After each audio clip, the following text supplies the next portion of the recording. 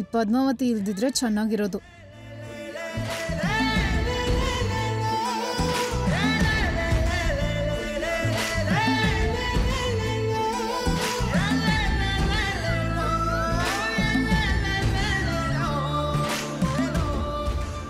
ಅಕ್ಕ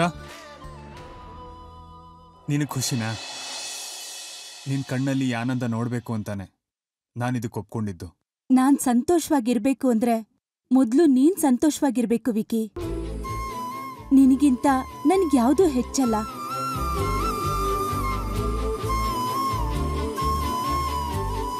ನೀನ್ ಪ್ರತಿ ಹುಟ್ಟಿದಬ್ಬಕ್ಕೆ ಅಮ್ಮ ನೆನೆಸ್ಕೊಂಡು ನೋವು ಪಡ್ತಿದ್ದೆ. ಆದ್ರೆ ಇವತ್ತು ನೀನ್ ಈ ಸಂತೋಷನ ನೋಡಿ ಮೇಲಿರೋ ನಮ್ಮಮ್ಮ ಕೂಡ ಎಷ್ಟೋ ಸಂತೋಷ ಪಡ್ತಾರೆ ಕಣೋ.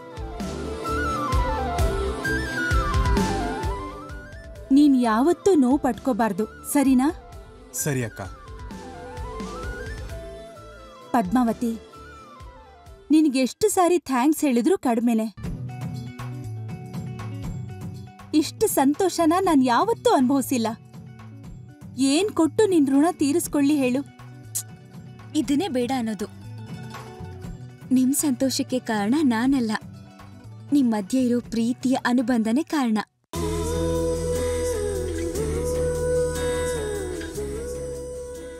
ಮಾಡಿರೋ ಒಳ್ಳೆ ಕೆಲಸ ಹೇಳ್ಕೊಳ್ದೇ ಇರೋದು ನಿನ್ನ ಒಳ್ಳೆತನ. ನೀನು ಏನೇ ಹೇಳಿದ್ರು ನಮ್ಮನೆ ಸಂತೋಷಕ್ಕೆ ಕಾರಣ ನೀನೇ ನಮ್ಮ. ಹೌದಮ್ಮ. ಇದರಲ್ಲಿ ಅನುಮಾನನೇ ಇಲ್ಲ. ಅದು ಒಳ್ಳೆತನ ಅಲ್ಲ ನಟನೆ ಅಂತ ಇವರೆಲ್ಲ ಯಾವಾಗ ಅರ್ಥ ಮಾಡ್ಕೋತಾರೋ ಏನೋ. ಎಸ್ ಪದ್ಮಾವತಿ ಈ ಸಂತೋಷಕ್ಕೆಲ್ಲ ನೀನೇ ಕಾರಣ. ಥ್ಯಾಂಕ್ ಯು ಸೋ ಮಚ್ ಇದೊಂದು ಹುಚ್ಚು ಹುಡುಗಿ. ಪದ್ಮಾವತಿನ ಅಷ್ಟು ನಂಬುತ್ತಾಳೆ. ಮೊದಲು ಇವಳು ಜ್ಞಾನೋದಯ ಮಾಡಬೇಕು. ಆ, ಅಮ್ಮ ಅರವಿಂದ? ವಿಕ್ಕಿ ಕೂಡ ಬಂದ್ಬಿಟ್ನಲ್ಲ? ಇನ್ನು ಪಾರ್ಟಿ ಶುರು ಮಾಡೋಣ. ಸರಿ ಚಿಕ್ಕಪ್ಪ ವಿಕ್ಕಿ ಬಾ. ಮಾಯಾ ನೀನ್ ಬಾ ಇಲ್ಲಿ. ಎಲ್ಲಿಗಂಟಿ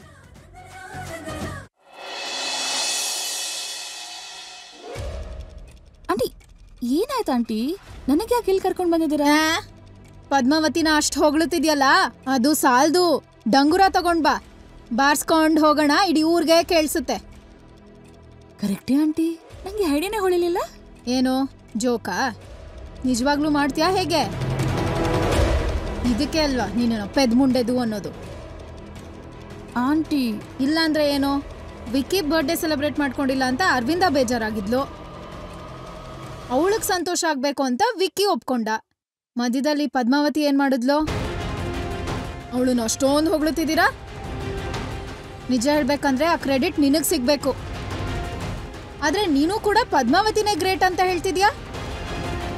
ಮುತ್ತು ಪೆದ್ದು ಮಾತನಾಡು ಅರಗಿಣಿ